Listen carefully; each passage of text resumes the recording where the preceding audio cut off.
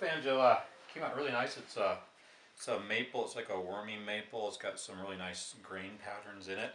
Uh, back's really really cool too, and uh, it's uh, got uh, strings on it.